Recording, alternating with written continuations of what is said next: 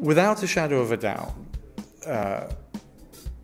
the future of cities is is absolutely technologically mediated because a city is a, is a is an organic thing. A city is a is a weird form of life which is made up of cells of people, and those people are going to be massively interconnected both to each other and also to other devices and uh, you know and, objects which are themselves connected to the internet. And so we can't get away from the idea that the city is going to be smart. Um, because it's made up of people who themselves are going to be interconnected.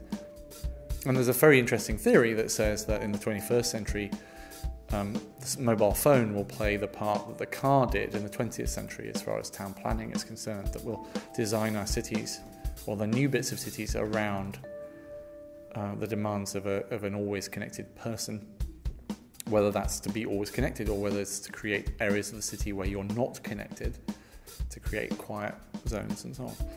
Um, yes, the future of the city of a city is smart, but I don't believe it's smart with a capital S and a